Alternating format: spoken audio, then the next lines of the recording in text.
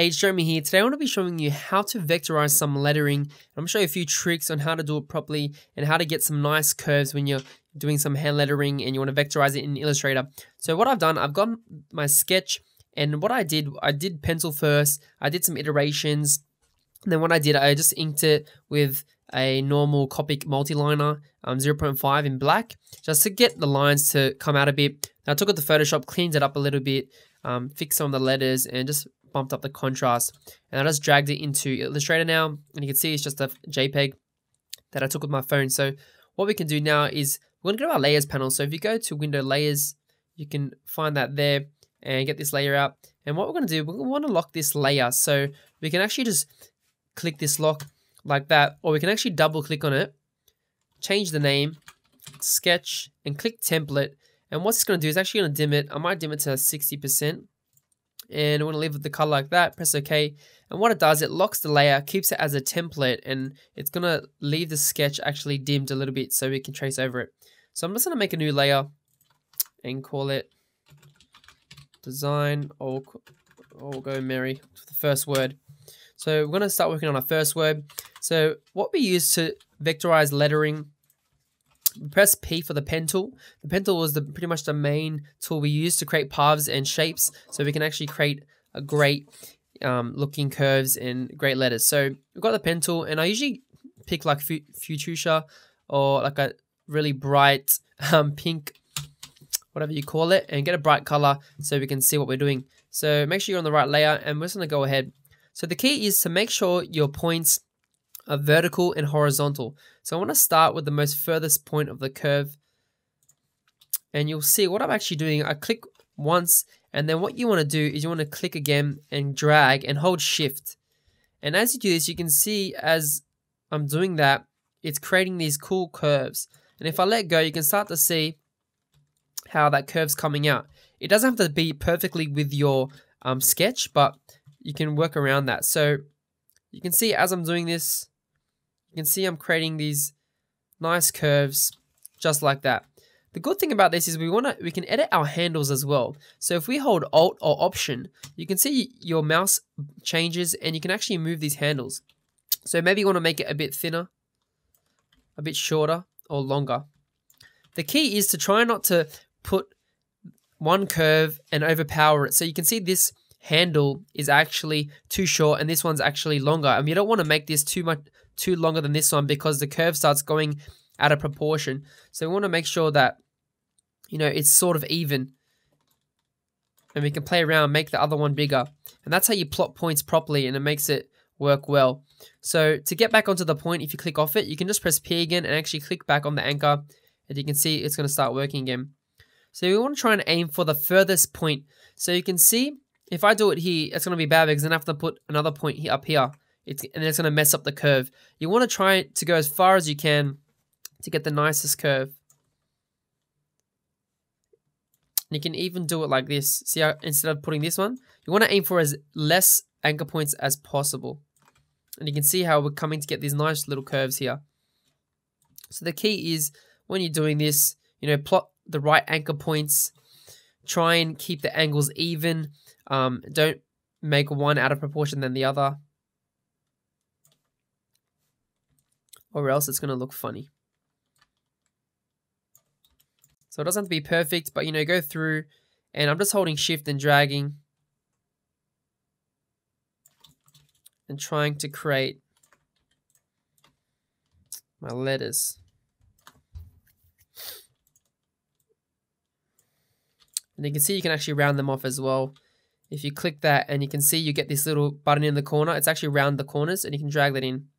But keep in mind when you do this, it's going to create two anchor points, which can you know be annoying because you're going to have to edit both of those later on. But for now, that's okay.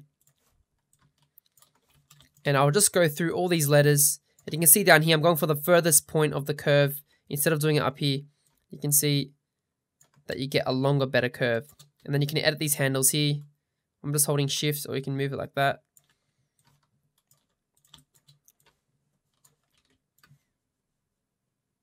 I'm just creating smooth curves. You know, and it can work for any letters. It can be, you know, you can be working on sans serifs. or brush lettering. Even you can do this with calligraphy as well. So you got to play around. Sometimes it, the horizontal or vertical might not work, so you got to do one or the other. So you can see sometimes I couldn't do the whole round circle, so I had to do one point there, one point there at the end to make it get that nice curve. So you can see we have our first letter. You know, look, it's looking all right. I can go back in there and edit the, the points and the corners because some of it's not working. But you can see how it turned out and it looks really nice. So that's what you do. And this is how we create all our letters. You just go through um, with connected letters like this. You can see how the E is connected to the two R's for Merry. For Merry, what we usually do is try and keep the pieces separate. So I'll just quickly build this. Build this one out.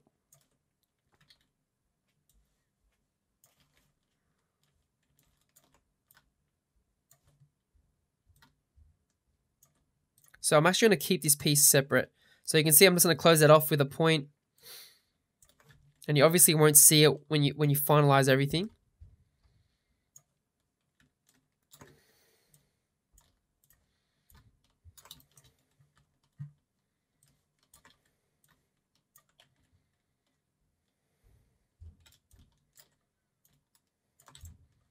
And you can see we've got our second letter done. And the reason why we want to keep these separate because we might want to put some shadows here. And maybe sometimes you want to edit these um, curves separately. And we don't want it to connect to that to the R because it's going to ruin both letters. And it can take a bit longer in the long run when you're doing the editing and fixing it up. So it's better to keep the connected letters separate so you have more flexibility. So we've got our two letters. And what I'll do, you just go through all of them, and that's how you create lettering.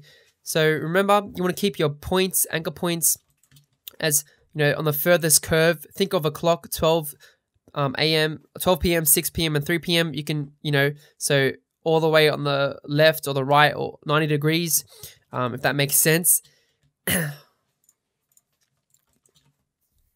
so remember, you want to place your anchor points, keep it at So remember, you want to keep your anchor points as minimal as possible. You don't want to have too many because it actually ruins the curves. And you want to have it, um, the curves as cur as nice and smooth as possible. And that's why you keep the anchor points like that. Try and keep the handles even and don't overpower one another. You know, use both handles of the points to get some nice curves, and you know it'll look they'll look much better. Um, also, don't forget, you know, when you're doing lettering, break up the pieces, especially if the letters are connected, so you can always play around with it. Even like the swashy on the Y, I can actually go through and keep it separate to the actual letter of the Y. Um, if I want to add some shadows or effects to that separately, and it gives me flexibility to add, edit those points um, just like that. So once I've done all the letters, you can see now that they're all broken up into pieces. And I tweaked all the letters as much as I could to get as the curves as I want. So you can go through and tweak it. And you can see if I select all the type there. You can see how all the handles are straight, except for a few of them. That's okay. It doesn't have to be perfect. And you can see all the horizontal handles and vertical handles. That's how you get the best curves. And that's how you make the lettering look the best that it can be. So after I did that, I sort of dragged it into a new artboard and I created some guides because you want to create guides for your X height and your cap height or your base. This is your baseline and this is your X height so it doesn't have to be, you know, 100% accurate, but that's how I did it. And you can see I try to keep the type consistent. And you can see there's some spacing errors here, but I can just go and move that type. And that's what I did. I tweaked some of the points and handles as well. Um, edited, edited some spacing issues. Um, I just did my best, you know, to play around with it and, you know, until I felt like it was okay. So that's what I did. Um, and you can see that, again, the handles have been edited and stuff like that, which is pretty sweet. And after that, you can just play around and create a cool type piece. So what I did, I just grouped them all together and then I just used a stroke. You can see this is a stroke. And then I just moved the orange down. Um, added some illustration elements, little presents and shapes. Um, and that's all the type. And added some shadows as well, just to give some dimension to the type or the swashes. You can see there. So yeah, that's how you got create. That's how you vectorize some lettering. Um, it's not too hard. You just got to practice and you know do your best and you know just always play around with the anchor points. Try and get some nice curves. You know, experiment, play around with different styles, um, and you'll get better and better. You know, I'm not the best, but you, you know you can always learn a few things as well. Um, some good type guys on YouTube is Will Paterson and Stephen Bradbury. They're pretty sweet as well. Um, they're really good with hand lettering. They specialize in that. So check out their channel as well. Um, and yeah, hope you guys enjoyed the video. Let me know in the comments below if this was pretty cool. And don't forget to subscribe for more content every week.